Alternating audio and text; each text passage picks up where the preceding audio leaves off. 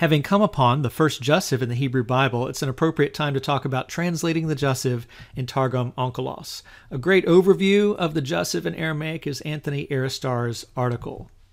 Let's remember where Onkelos and Jonathan fall in the history of the development of the Aramaic language. Jewish literary Aramaic follows Qumran and Biblical Aramaic by centuries, so it's entirely possible that there can be a diachronic change in the representation of Jussives.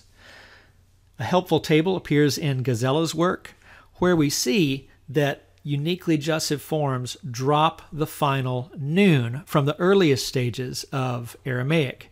A recent discovery is slightly different forms in the third person feminine plural and second feminine plural that are difficult to find and to prove because it has to do with vocalization rather than a difference in consonants. But in any case, Biblical Aramaic for Biblical Interpreters, page 149, has this table which shows the hallmark of the uniquely volitive forms is the dropping of final noons, which we see in Jeremiah 10:11, "May they perish." Interestingly, the only third person masculine plural jussive forms in the entire Hebrew Bible are in Aramaic. It didn't have to be this way, but Hebrew forms its jussives differently from Aramaic, and that's just what we have in our text.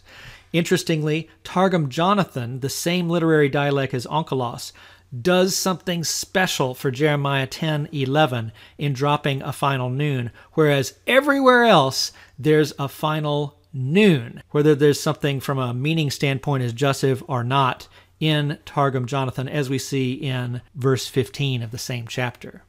Let's go deeper now in a second video talking about translating the jussive in Targum Onkelos.